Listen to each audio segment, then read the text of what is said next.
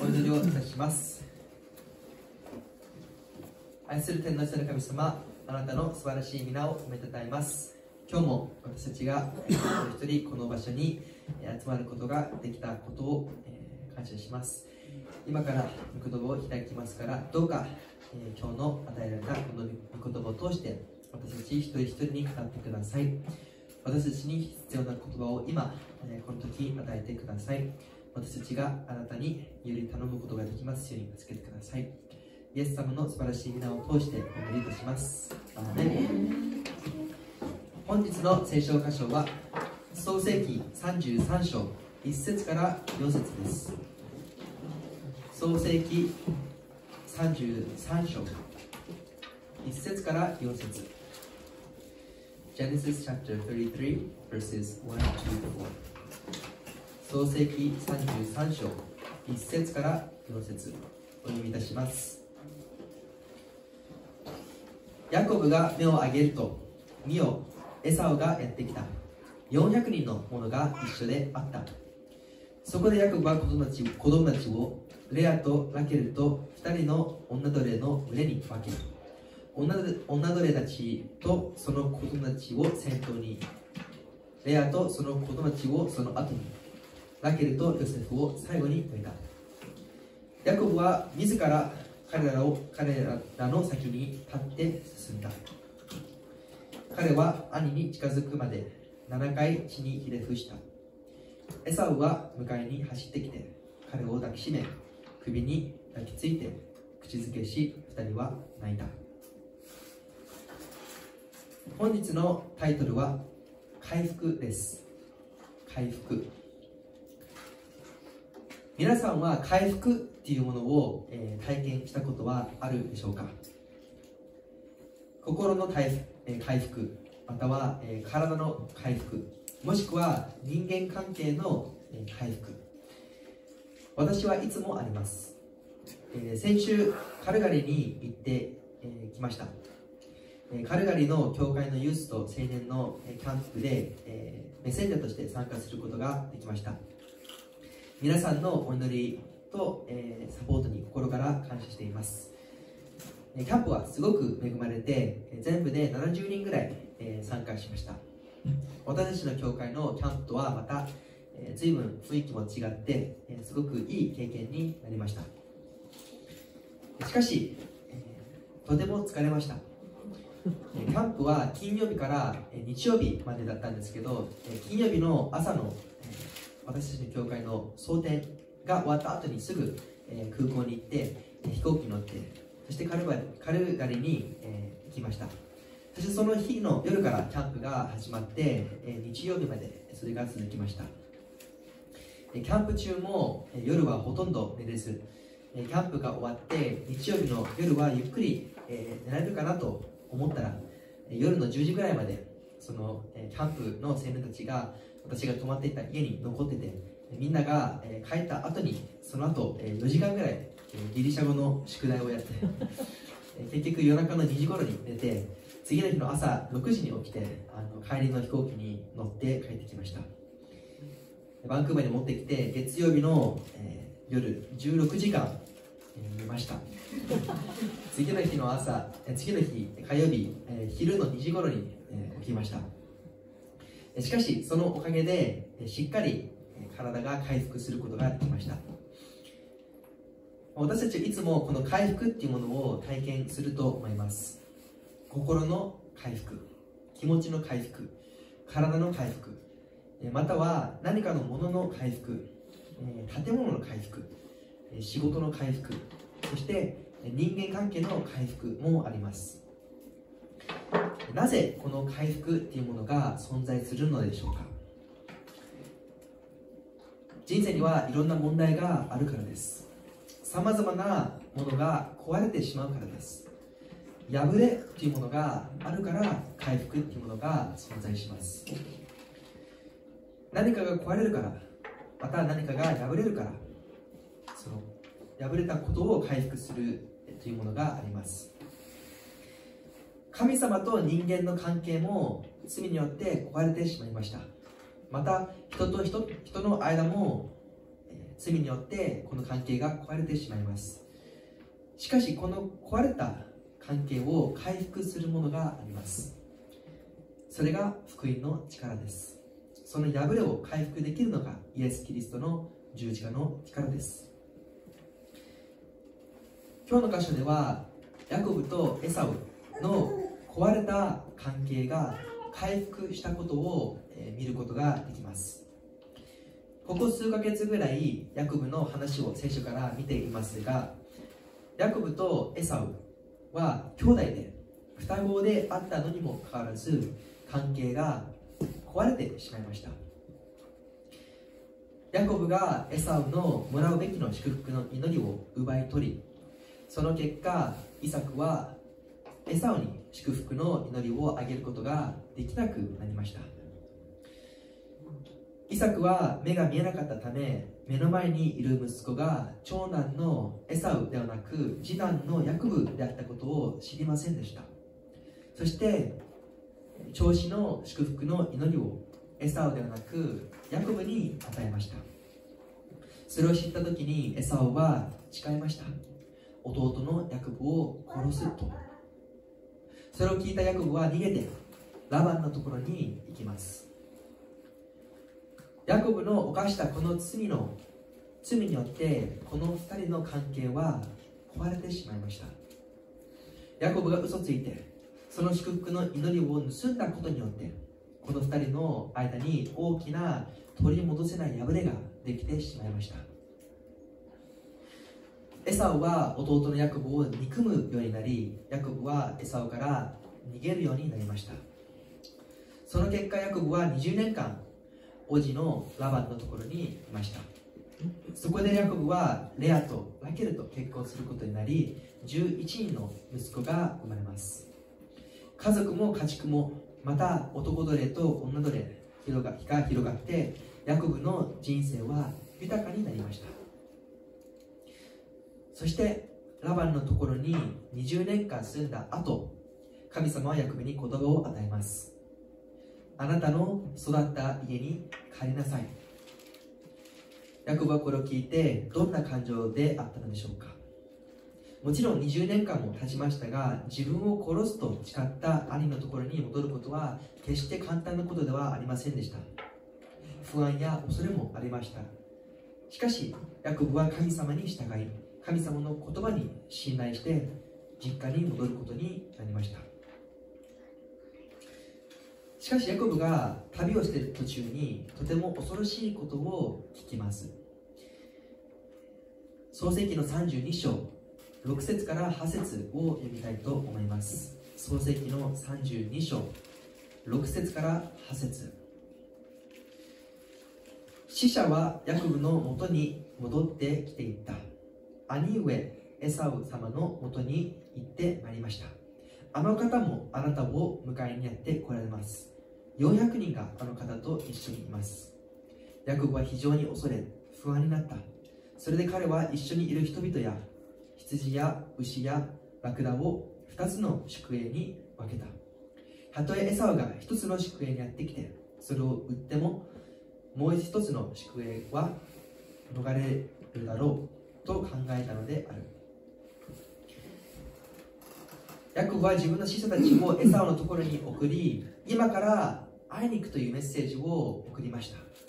しかしその人たち使者たちが戻ってくると400人がエサウと一緒にヤコブのところに向かっていると言いました。皆さんがもしこの状況のヤコブであったらどういう気持ちになるでしょうか？もし私だったら逃げると思います。絶対にエサウは自分のことを殺しに来る。自分たちだけじゃなくて自分の大事な家族も自分の持ってる全てをエサウによって奪い取ら取られる。なぜなら20年前自分がエサウから大事なものを奪い取ったから。今度はエサウが自分の大事なものを奪い取るには間違いない。そのように感じると思います。神様は進みなさいと言ってるけれども自分を殺すと誓ったあの兄が今400人と一緒に自分の方に向かっていると聞いたら私だったら怖すぎて逃げると思います。しかしヤコブは恐れの中にはいましたがまず祈ってそして神様に従い進んでいくことを決めました。また先週の箇所ではヤコブはその夜に神様と格闘したことを学んだと思います。神様を信じること信頼し続けることはヤコブにとって簡単なことではありませんでした。ヤコブは常に神様と格闘して弱さをぶつけながらその神様を信頼し続けて歩んでいます。そのヤコブに神様は新しい名前を与えイスラエルと呼びました。そして今日の箇所33章に行くとヤコブとエサウが20年ぶりに会うことが会うことを見ることができます。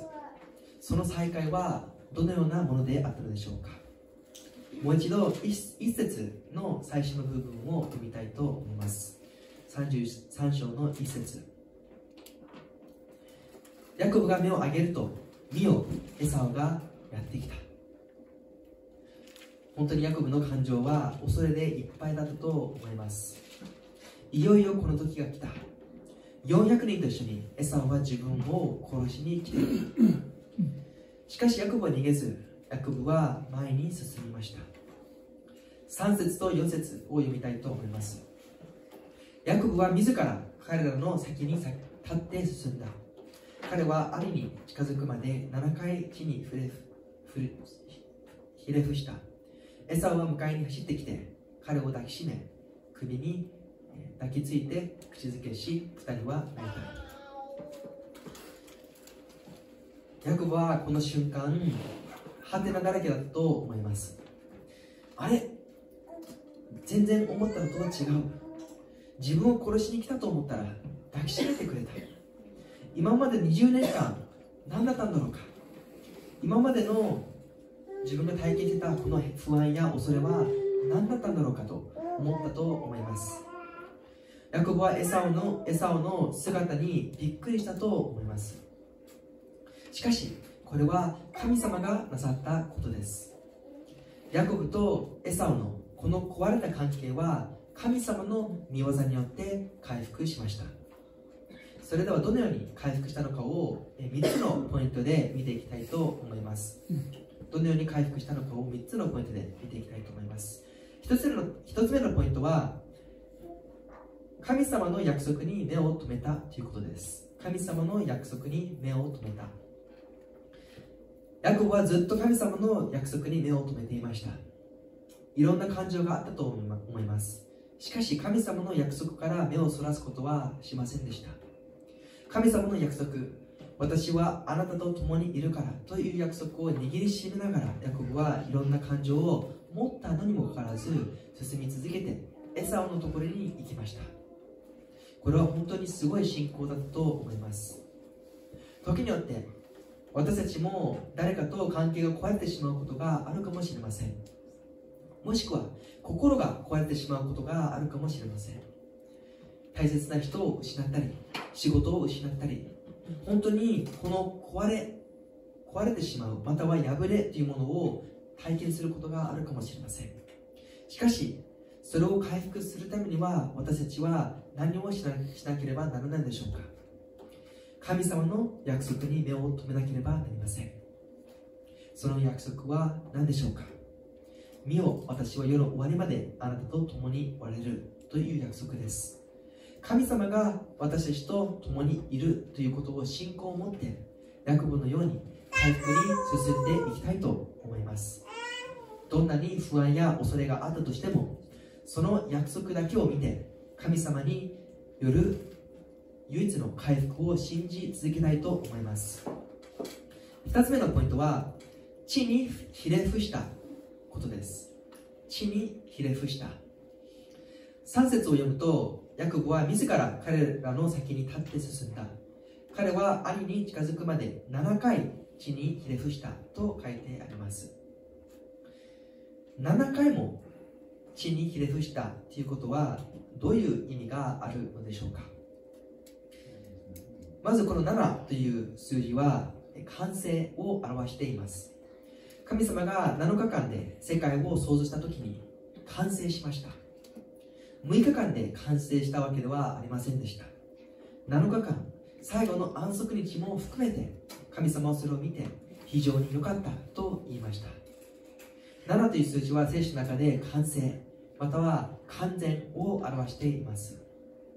それでは地にひれ伏したのは何を表しているのでしょうか？身を委ねることを表しています。英語でしたら surrender ということです。イエス様も十字架にかかる前に身を地にひれ伏したと書いてあります。イエス様はこのように祈りました。私の願いではなくあなたの御心にがなりますように。これが委ねるということです。自分の思いや願いではなく神様の思い御心に従うということです。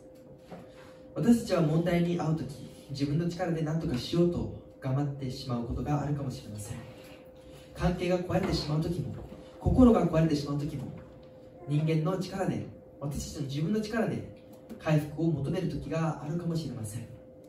しかし今日の箇所でヤコブは7回も地にひれ伏しました。つまり完全に神様に身を委ねました。エサオが自分をまた自分の家族を殺してもおかしくない状況なのにもかわらずヤコブは全てを神様に委ねました。ヤコブが立ち上がって自分の力で何とかしようと思ったのではなく7回も地に触れてした。私たちは神様の働きを体験するためには神様の見業を体験するためにはこのように完全に身を委ねる必要があります。完全に神様を信頼して信じなければなりません。自分の力で何とかするのではなく100%神様に委ねて御心御心御心がなりますようにと祈らなければなりません。そしてそれをするときに3つ目のポイント。心が変えられます。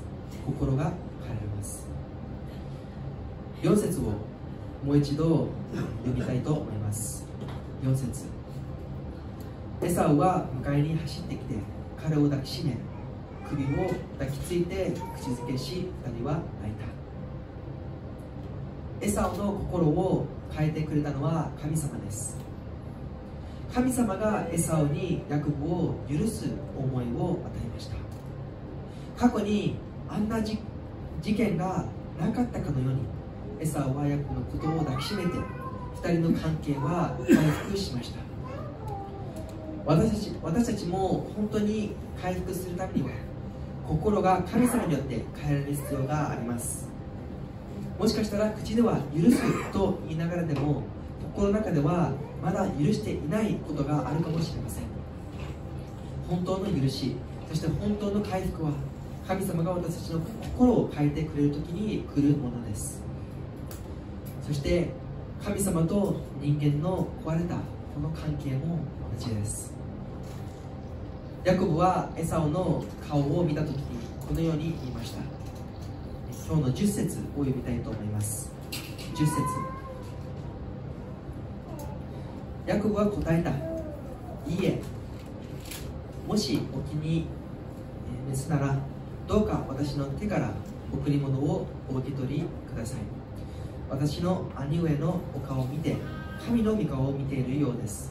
兄上は私を喜んでくださいましたから。神様は愛なる方です。神様に許しと回復があります。私たち人間が罪を犯した時に神様との関係が完全に壊れてしまいました。しかし神様が人間を愛し人間の罪を許すためにこの地上に来てイエス様が十字架にかかってくれました。そしてそれを信じる者が皆救われ永遠に神様と天国に行くことができるようになりました。罪によってこの壊れた関係が神様の愛と許しによって回復しました。そしてエサオが過去のことを一言も言わなかったように神様は私たちの過去の罪も過去の問題過去の失敗を二度と見ることはしません。しかし私たちがしなければならないことは神様を信じ続けることです。神様の約束に目を留めることです。そして自分の力でなんとか頑張ってその問題やその破れその壊れたものを解決するのではなくヤコブのようにまたイエス様のように地にひれ伏して神様に全てを委ねることをしなければなりません。なぜなら完全に完全なる回復完全なる回復をしてくれるのは神様だからです。神様が私たちを私たちの心を変えてくださるお方。神様が私たちに完全なる回復を与えてくださるお方だからです。それを信じ続けて私たちは前に進んでいきたいと思います。もしかしたら目の前には恐れや不安があるかもしれません。しかし私たちが神様の約束だけに目を留めて神様を信じ続けて進んでいきたいと思います。お祈りいたします。愛する神様あなたの素晴らしい皆を褒めたたえます。今日も御言葉を開けたことを感謝いたします。ヤコブとエサオのこの壊れた関係ヤコブが犯した罪によって壊れてしまったこの関係20年間、えこの破れがありました。しかしあなたはこの壊れた関係を回復してくれました。ヤコブに、え育った場所に戻りなさいという言葉を与えヤコブは不安や恐れがありましたけどあなたの言葉を信頼し続けて、え自分の育った場所に戻りました。そこでエサオと再び再会する時には本当に恐れの中にいたと思います。しかしあなたがエサオの心を変えてくださりそして2人は2人の関係は回復することができました。私たちの人生の中にもいろんな破れがあります。いろんな壊れたもの壊れた関係があるかもしれません。もしかしたらこの中にもある人と壊れてしまった関係があるかもしれません。しかしその関係を完全に回復してくださるのはあなたであることを私たちが信じ続けることができますようにつけてください。そしてあなたの約束だけに目を留めて進んでいくことができますように助けてください。7回地にひれ伏して完全に身をあなたに委ねることができますように助けてください。そしてあなたが全てを益としてくださるということを信仰を持って進み続けることができますように助けてください。イエス様の素晴らしい皆を通してお願いします、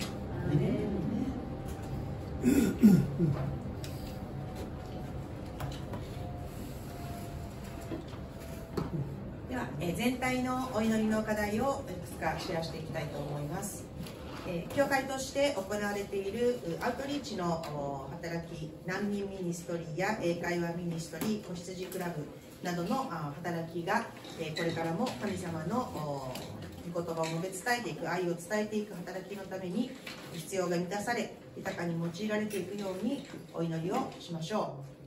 え、また今週今月来月の予定の中で、今週は土曜日に聖書に基づく子育てセミナーが1時から3時に予定されています。また11月2日は教会の秋の大掃除が予定されています、えー、教会の人数も増えていく中にあって、えー、このようにこうたくさんの人が集まってえー、自分のが与えられている教会を愛を持って掃除ができるようにそして本当にこの主が与えてくださっている建物を大切に、えー、みんなで、えー、祈りながら、えケアしていければと思います、え11月2日です。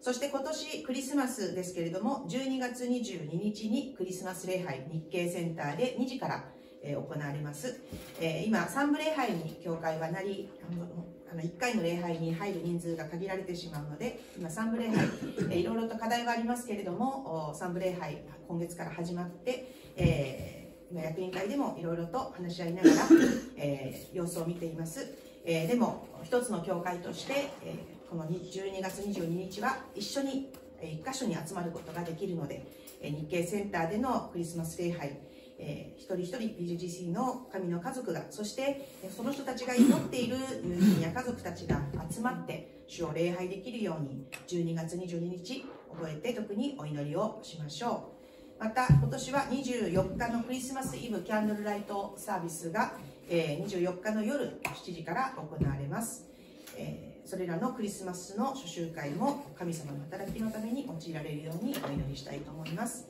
また教会も成長していますので、えーこのような祈り会水曜日金曜日土曜日の祈り会や各スモールグループに教会の方々が1つでも2つでも参加して教会のために祈りそして本当に横のつながりフェロシップを大切にしていけるように覚えてお祈りしましょう、えー全体の祈り課題はここまでとなります。